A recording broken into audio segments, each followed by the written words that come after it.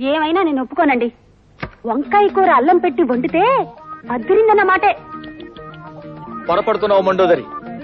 అసలు వంకాయ వేపుడు చేస్తే ఆహా! స్వర్గానికి అంగుళమే దూరం.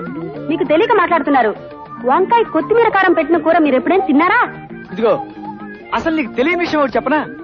గుత్తి వంకాయ కూర ఉల్లి కారం పెట్టి చేసి దాన్ని వేసి శివంగి పులుసని తయారు చేస్తారు. ఆహా!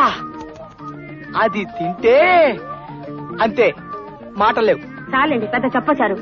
మంచి పదునైన పనసకాయని చేయి తిరిగిన వాడు తరిగాక కూర చేసుకుని తింటే ఉంటుంది. మీ జీడిపప్పులు అసలు ఎందుకు పనికొస్తాయండి?